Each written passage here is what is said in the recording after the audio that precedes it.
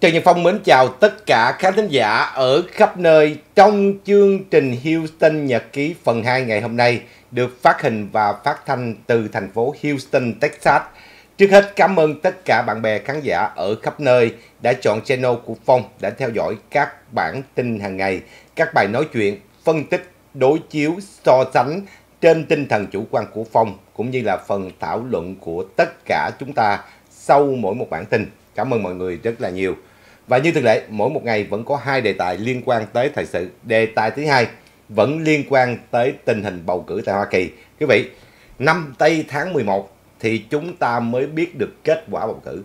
Tức là sau ngày năm Tây, ngày ít nhất ngày 6 Tây thì chúng ta sẽ biết được là ai thắng, ai thua trong các vị trí bầu cử từ cấp địa phương, tiểu bang tới liên bang và kể cả ghế tổng thống.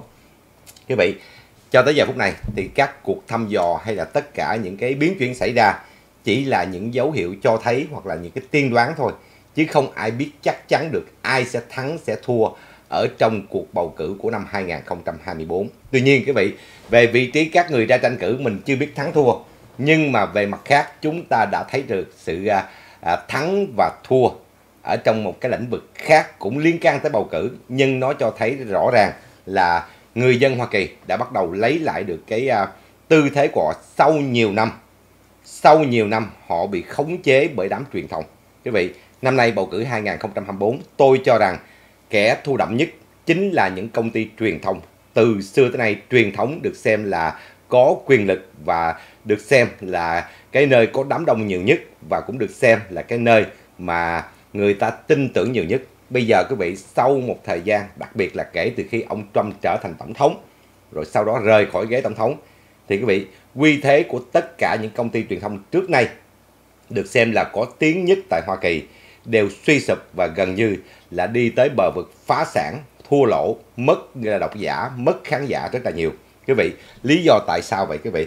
À, chúng ta lướt qua một cái bản tin mà ngày hôm qua hôm kia tôi có loan, đó là tờ báo Washington Post tức là WAPO đã, đã lên tiếng báo động trong việc mà mất đi à, à, độc giả và họ ông ta nói với các nhân viên là người dân đã không đọc những cái bài viết của quý vị.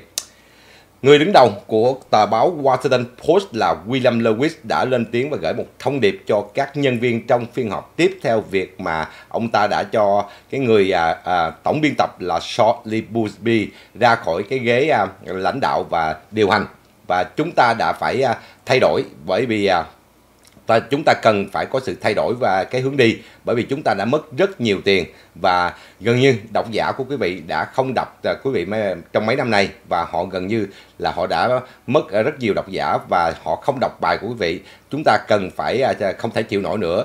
Và ông Lewis cho biết là ông đã thông báo cho Busby, người đã tham gia vào tàu Washington Post năm 2021 là sẽ chấm dứt cái vai trò ngay lập tức và loan báo rằng tạm thời thay thế bằng một người khác là cựu tổng biên tập của tàu Wall Street Journal là Mark Murray.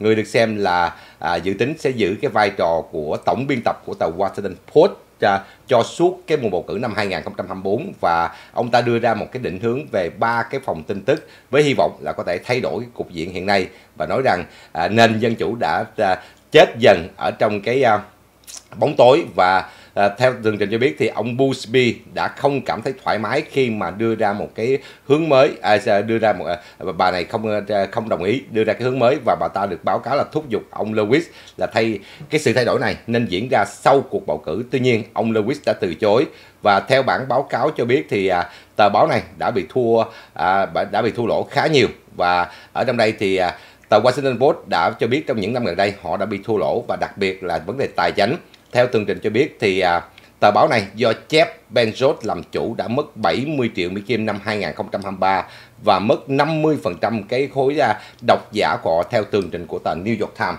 Quý vị, đây là bản báo cáo liên quan tới tờ báo tôi nói là cực tả Washington Post. Ở trong tờ báo này mà quý vị thuộc à, dạng khác biệt với cực tả thôi. Khác thôi nha quý vị, tôi không nói quý vị là bảo thủ thôi là quý vị sẽ bị cô lập ngay. Sẽ bị isolate và làm cho quý vị phải từ chức hai tờ báo ở tại New York thứ à, ở tại à, DC và New York thứ nhất là tờ Washington Post thứ hai là tờ New York Times hai tờ báo này nếu mà quý vị chỉ cần có một cái tư tưởng khác biệt thôi tôi chưa nói tới việc mà đối lập hay là bảo thủ là quý vị sẽ bị cô lập sẽ bị à, tẩy chay và làm cho quý vị không cảm thấy thoải mái trong chỗ làm. Cuối cùng, quý vị phải nộp đơn xin nghỉ việc. Và cái họ rất là họ rất là smart. Họ dùng những cái thủ đoạn để mà cô lập quý vị mà không à, làm cho quý vị không kiện được tà báo, không kiện được gì cả. Thì quý vị, đây là cái hiện tượng đang xảy ra cho phía của tờ Washington Post. Tuy nhiên không phải chỉ tờ Washington Post, tờ New York Times, đài truyền hình CNN, MSNBC đồng loạt trong mấy năm nay đều bị rớt lượng độc giả một cách rất thê thảm và khán giả một cách rất thê thảm. Gần như là họ làm kiểu gì cũng không bút lại nổi. Thậm chí là CNN bây giờ muốn chú ý vào ông Trump hay MSNBC dở các cái chương trình tấn công ông Trump với mục tiêu là để à, duy trì cái lửa à, và duy trì cái lượng độc giả. Tuy nhiên vẫn bị suy sụp. Đặc biệt là cái chương trình mà xưa nay do bà Barbara Walters đưa ra. Bà ta lập ra chương trình này chủ yếu nói về xã hội và quyền của phụ nữ. Nhưng mà dần dần cái chương trình này bây giờ nó trở thành một cái à, công cụ tấn công vào giới bảo thủ và tấn công vào ông Trump. Đó là chương trình The View. Đây là một cái chương trình do một trong những ký giả kỳ cụ của đài ABC lập ra cho đài ABC. Nó gọi là chương trình The View Tức là tức là buổi sáng họ ngồi thảo luận những chương trình xã hội từ xã hội tới giải trí, đôi khi họ đề cập tới chính trị. Lúc mới lập ra thì nó là như vậy. Lúc mới lập ra thì nó là như vậy. Tuy nhiên quý vị dần dần thì cái đã cái chương trình này đã bị đẩy qua gần như là mỗi ngày bây giờ nó chỉ đem Donald Trump lên nó nó chỉ trích nhiều góc cạnh khác nhau. Nhiều góc cạnh khác nhau. Và bây giờ thì cái chương trình The View được xem là cái chương trình ít khách nhất trong đài ABC. Và có thể thời gian tới nó sẽ bị đào thải. Bên cạnh đó, đài mà được xem là đã có một cái chỗ đứng khá tốt kỳ xưa bởi vì họ tập trung vào vấn đề kỹ thuật và phát triển kỹ thuật là MSNBC. MSNBC khởi đi là lúc đó là đài, công ty Microsoft ra đời và phối hợp với đài NBC để thành lập MSNBC ở tại New York. Và quý vị, đài này đã nhanh chóng có được cái lòng tin của khán giả khi mà họ đưa tin và phân tích về kỹ thuật ngành kỹ thuật lúc đó bắt đầu phát triển với cái à, sự ra đời của internet thì MSNBC đã nhanh chóng có được cái lượng độc giả khá đông đảo bởi vì họ được xem là một cái đài chuyên môn về à, ngành kỹ thuật nhưng mà dần dần rồi quý vị nó bị biến thể nó bắt đầu đi vào cái vết xe đổ của vấn đề gọi là cái vùng màu xám trong giới truyền thông và cuối cùng thì bây giờ quý vị MSNBC rating được xem là thấp nhất. Riêng đài CNN, cái bản báo cáo vừa rồi quý vị thấy là họ đã có mức rating thấp nhất kể từ năm 1991. Giờ prime time, tức là cái giờ vàng của họ đó là từ 8 giờ tối cho tới 11 giờ đêm theo giờ của New York. Tức là 5 giờ chiều giờ của California đó quý vị. Cái giờ này được xem là cái giờ ăn khách nhất trong tất cả các chương trình truyền hình. Bởi vì nó gọi là giờ prime time, tức là cái giờ mà tốt nhất là bởi vì giờ đó mọi người đi làm về thì uh, nghỉ ngơi ở trong nhà thì họ sẽ coi chương trình thường thường cái giờ prime time là từ à, uh, 5 giờ chiều theo giờ California cho tới 11 giờ đêm là cái giờ của California thì đây là cái giai đoạn mà người ta xem truyền hình nhiều nhất ở trên uh, à, ở trên cái à, các cái cuộc à, gọi là nghiên cứu và thăm dò cho thấy là bởi vì cái giờ này là cái giờ người ta đi làm về. Về tới nhà chuyện đầu tiên mở cái tivi lên coi tin tức. Hay là coi những cái chương trình giải trí cho cái đầu óc nó thoải mái. Do đó cái giờ này nó gọi là giờ prime time. Những người nào mà được à, phụ trách trong cái chương trình này là những người được xem là có uy thế và được công chúng yêu chuộng lắm. Tại vì họ phải được như vậy họ mới vào được những giờ prime time. Thì quý vị cái giờ prime time của CNN từ 8 giờ tối cho tới 11 giờ đêm theo giờ của New York họ chỉ được có 83.000 người xem trực tiếp 83.000 người xem trực tiếp so với đài truyền hình Fox News là bây giờ cái lượng xem trung bình là 180.000 người xem. Thì quý vị, cho con số này cho thấy rằng là cái lượng xem của CNN rất thê thảm so với ngày xưa người ta không nói tới mấy chục ngàn, người ta nói tới cả triệu người xem. Thì quý vị, đây là cái hậu quả của cái giới truyền thông khi mà họ lạm dụng cái đám đông, họ lạm dụng cái quyền lực đám đông trao cho họ trong mấy năm nay. Có thể nói rằng những kẻ làm việc ở trong cái hệ thống truyền thông này, họ đã lạm dụng cái thế lực và quyền lực của họ do đám đông trao cho họ và bây giờ họ đang đốt tất cả những cái à, thành quả mà họ đã có xưa nay. Có thể nói rằng là ngành truyền thông ở bên Mỹ này gọi là đệ tứ quyền. Tại vì họ được công chúng trao quyền chứ không phải là lá phiếu bầu. công chúng trao quyền tức là họ tin tưởng vào các công ty truyền thông. Bắt đầu từ cái thời chiến tranh Việt Nam tới bây giờ. Thì quý vị suốt mấy chục năm qua thì với à, người dân Hoa Kỳ họ có thể không tin các chính trị gia họ có thể không tin các đời tổng thống các thượng nghị sĩ các dân biểu nhưng họ tin truyền thông. Và sợ nhờ cái niềm tin này truyền thông có một cái đám đông khổng lồ có thể nói họ có một cái đám đông rất khổng lồ. Và cuối cùng quý vị, bây giờ thì cái đám đông này biến mất. Có nhiều lý do dẫn tới đám đông này biến mất và tôi nói rằng năm nay kẻ đại bại chính là đám truyền thông nếu mà nói bầu cử năm 2024 một cái vị hỏi tôi là ai thắng, ai thua, tôi chưa biết. Nhưng tôi biết chắc năm nay là cái năm mà đám truyền thông thất bại thảm hại. Bởi vì họ đã lạm dụng quá nhiều cái quyền lực của họ trong giới truyền thông. Tôi gọi là quyền lực là bởi vì một ai đó có đám đông thì tự nhiên quyền lực đến với, đến với họ. Họ nói cái gì là đám đông nghe cái đó.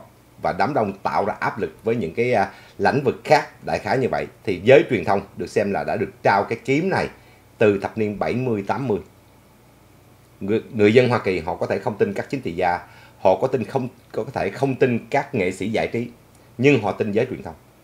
Do đó rating của giới truyền thông rất là cao ở thập niên 80 90 70 80 90 nhưng mà quý vị bắt đầu từ cái lúc mà ông Trump lên. Thì quý vị, tất cả những cái gương mặt đạo đức giả, tất cả những cái trò lạm dụng này dần dần đã được phơi bày trước công chúng. Và thứ hai là do hệ thống mạng xã hội ra đời. Hệ thống mạng xã hội ra đời đã khiến cho tất cả giới truyền thông không còn độc quyền trong cái phần tin tức nữa, hay là cái phần thông tin nữa. Tại vì từ xưa tới nay, nếu chưa có mạng truyền thông à, mạng truyền thông xã hội, thì gần như là quý vị các người dân vẫn chỉ biết kiếm tin tức từ những công ty truyền thông thôi. Từ những tờ báo, từ những đài truyền hình, từ những đài radio thôi. Thì quý vị, xưa nay họ làm việc là người dân tin vào họ. Nhưng mà kể từ khi mạng xã hội ra đời, thì bắt đầu cái lượng thông tin nó khổng lồ hơn, nó khủng khiếp hơn. Và người ta bắt đầu tiếp xúc với nhiều cái nguồn thông tin khác nhau. Từ mạng xã hội và điều này họ bắt đầu phân tích đối chiếu so sánh và họ đánh giá được những công ty truyền thông nào mà họ tạm thời còn tin tưởng. Những công ty truyền thông nào đánh mất lượng độc giả, khán giả của họ. Quý vị, kể cả Fox News. Fox News có được cái rating tốt, nhưng mà Fox News thời gian gần đây cũng, trong những năm gần đây cũng đã bị rớt rất nhiều subscriber. Ngược lại, quý vị, những người mà từ những công ty truyền thông này bước ra, họ làm chương trình vlog của họ hay là làm những cái chương trình postcard của họ thì họ lại có một cái lượng người theo dõi khủng, khổng lồ. Từ những người làm postcard cho tới những cái người mà tự mình có một cái channel riêng. Mặc dù họ xuất thân từ những đại công ty truyền thông nhưng bây giờ họ có một chỗ đứng còn vững hơn cả các công ty truyền thông nữa. Cái chỗ đứng và cái lượng độc giả của họ còn khổng lồ hơn nữa. Ví dụ như quý vị thấy là uh, Carson Tucker là một trong những nhân vật mà từ đài truyền hình Fox News đi ra thì bây giờ ổng có một cái chỗ đứng rất vững vãi. Thì quý vị lý do từ xưa tới nay những người làm nghề truyền thông như chúng tôi là chúng tôi bao giờ cũng được định hướng là giấc mơ của mình được làm việc cho một công ty truyền thông uy thế nhất tại Hoa Kỳ và có được một cái chỗ đứng vững chãi trong giới truyền thông. Thì quý vị đó là giấc mơ của những người làm truyền thông. Tức là chui vào một cái đại công ty truyền thông lớn để à, thứ nhất là bảo đảm tài chính được trả lương cao. Thứ hai là có được cái cơ hội tiếp xúc với nhiều khán giả khác nhau, xây dựng cái tên tuổi của mình. Đó là giấc mơ của những người làm truyền thông. Nhưng mà quý vị, bây giờ cái giấc mơ này coi như nó đã tan vỡ. Hầu hết những kẻ đang cộng tác trong những cái à, công ty truyền thông đều không có chỗ đứng vững chãi. Chỉ một thời gian ngắn thôi, họ bị đào thải. Họ bị đào thải và cuối cùng những người nào mà biết khai thác tận tình và biết cách uh, tận dụng cái uy thế của mình thì quý vị họ tự đứng ra mở một cái chương trình postcard riêng thì họ lại có một cái lượng độc giả riêng của họ. Không còn lệ thuộc vào các công ty truyền thông nữa. Trong khi ngày xưa muốn xây dựng tên tuổi muốn có khán giả là phải nhờ các công ty truyền thông. Còn bây giờ có những người quý vị họ bước ngang thẳng tới mạng xã hội thành lập cái uh, mạng truyền thông riêng của họ họ vẫn tạo được chỗ đứng mà không cần đi ngang những công ty truyền thông quý vị, đây là một trong những cái thực tế xảy ra. Và chính điều này nó dẫn tới tình trạng các công ty truyền thông liên tục khai lỗ, mất độc giả, mất khán giả. Và họ đang đối diện cạnh tranh gay gắt với lại những cái quảng cáo rẻ trên mạng xã hội.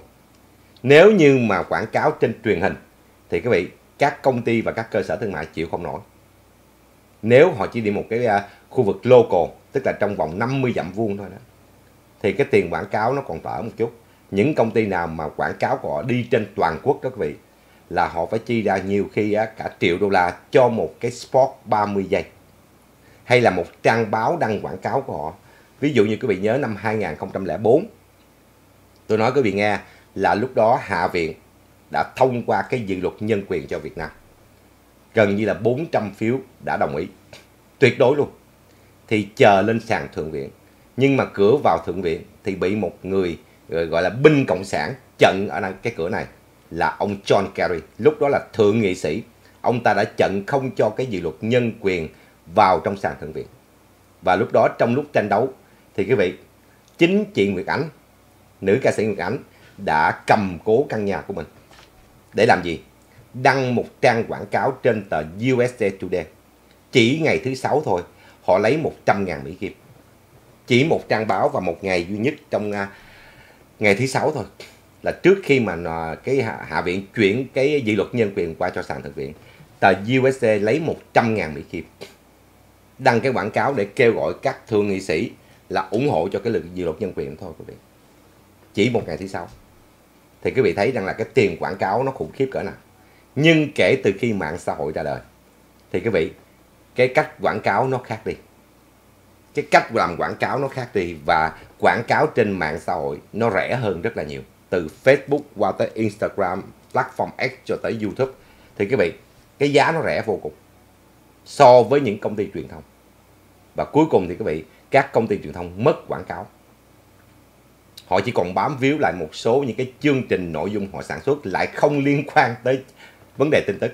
Ví dụ những cái chương trình giải trí thì bây giờ vẫn còn chỗ đứng hay là những cái chương trình mà nó mang tính chất hàng năm, những cái giải thưởng, thì nó cũng còn được một số những cái à, khán giả riêng.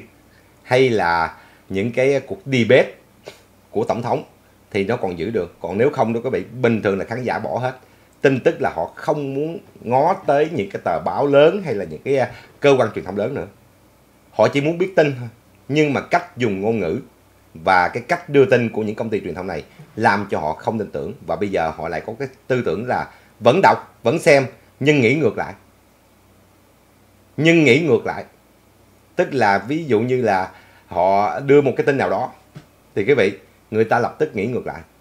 Đây là cái xu thế của những người dân bây giờ. Và đặc biệt là giới trẻ bây giờ, gần như là nó chia sẻ rất nhiều những cái thông tin từ người dân nhiều hơn chứ không phải từ những cái mạng truyền thông được xem là mainstream nữa. Đó quý vị thấy cái uh, hiện tượng của ở trong nước thôi. Cái vụ của ông thích minh tuệ nó khởi đi từ mạng xã hội. Mấy công ty truyền thông trong nước đâu có thèm đăng tới đâu. Cho tới khi mà ổng ký cái tờ giấy à, chấm dứt cái cuộc bộ hành thì mấy công ty truyền thông mới đưa. Còn trong suốt cái giai đoạn bộ hành của ổng, đám truyền thông ở trong Việt Nam không hề đưa tin nhưng mà người ta vẫn biết từng bước một của ông Thích Minh Tuệ đi là do mạng xã hội. Tin tức từ những người dân chứ không phải từ những tay ký giả chuyên nghiệp nữa. Tương tự như vậy ở Mỹ cũng y chang. Tức là những cái tin tức được đưa ra họ không tin các công ty truyền thông. Họ tin những người ở địa phương đó đưa tin hơn. Từ những cái hình ảnh video hình chụp cho tới những cái uh, tin tức họ viết ra ở trên mạng xã hội người ta có xu thế người ta tin hơn bất kể là mặt các công ty truyền thông xã hội vẫn đặt niềm tin vào những công ty truyền thông, nhưng mà rõ ràng quý vị, cái phản ứng ngược lại. Và bằng chứng quý vị thấy tờ Washington Post, tờ báo này mất subscriber thê thảm luôn. Mất subscriber thê thảm luôn. Có nghĩa là mùa bầu cử năm 2024 người ta sẽ không tin vào giới truyền thông nữa. Người ta chỉ tin vào những cái gì đang xảy ra ở tại hiện trường. Người ta không tin những cái ống kính của giới truyền thông người ta không tin những cái bản tin của họ bởi vì nó bị cắt xén, nó bị xào nấu. Nó không có là ro nữa, nguyên thủy nữa. Do đó quý vị, người, khi mà người ta thấy một cái clip nào đó CNN chiếu, thì quý vị lập tức người ta đi kiếm cái clip nguyên thủy từ ở cái góc khác của những người dân. Chứ người ta không tin vào những cái clip mà CNN cầm máy thấu hình. Mặc dù là họ cầm máy thấu hình chuẩn hơn, đẹp hơn, lấy được những cái góc, họ đứng những cái vị trí thích hợp hơn nhưng mà cuối cùng người dân vẫn không tin. Họ đi xem những cái clip mà coi như chóng mặt luôn á. Nó bị shake nhiều quá, nó bị rung nhiều quá. Tại người ta cầm cái phone người ta quay mà. Người ta tin những cái clip đó nhiều hơn những clip của CNN mặc dù một sự kiện xảy ra. Thì quý vị thấy là gì quý vị? Năm nay mùa bầu cử, có nhiều thay đổi. Thay đổi thứ nhất từ cái suy nghĩ của người dân Mỹ. Thay đổi thứ hai là cái niềm tin trong giới truyền thông đã bị đổ vỡ hoàn toàn không còn ai tin vào họ nữa. Bởi vì họ lạm dụng. Đó, quý vị thấy cái vụ của ông Trump không? Thay vì họ chỉ dùng chữ Donald Trump, không ai nói họ. Nhưng mà ông Trump vừa bị định tội, toàn bộ những công ty truyền thông này cứ dùng cái chữ convict fellow. Trong khi ông Trump là cựu tổng thống thì họ không dùng. Họ dùng chữ convict fellow, tức là kẻ bị kết trọng tội. Họ dùng chữ này với Donald Trump để làm gì? Để định hướng người dân cấy vào đầu người dân. Ông Trump là tội phạm không phải là tổng thống không phải là cựu tổng thống. Chính cách đưa tin chọn ngôn ngữ theo cái kiểu định hướng và thiên vị như vậy càng khiến cho họ mất uy tín hơn. Thay vì người ta dùng một cái chữ rất đơn giản Donald Trump, Joe Biden thì không ai nói họ. Hay là ít nhất đương kim tổng thống Joe Biden hay là cựu tổng thống Donald Trump người ta thấy cái yếu tố tôn trọng còn ở đó còn bây giờ đám truyền thông đi bựa tới mức là nó chỉ cần một cái bản kết tội thôi. Lập tức là nó gán nhãn là trọng tội ngay. Quý vị, cách đưa tin của đám truyền thông bây giờ, người ta không tin nữa. Người ta không tin vào những cái ngôn ngữ của họ nữa. Tại vì họ rất họ tinh vi, họ che giấu cái ngôn ngữ ở đằng sau cái chữ nghĩa. Nhưng bây giờ người dân hiểu hết. Người dân hiểu hết rồi. Tôi từng kể cho quý vị nghe, cách đây nhiều năm cách đây nhiều năm thì cái uh, ông đại sứ đầu tiên của Hoa Kỳ tại Việt Nam là Pete Peterson. Quý vị thì đám tờ LA Times đó, tờ Los Angeles Times đó, ok nó đặt cái tựa nó đặt cái tựa khi mà ông này lấy một uh, một người uh, bên úc. Bà này là một cộng, người, người gốc việt công dân úc.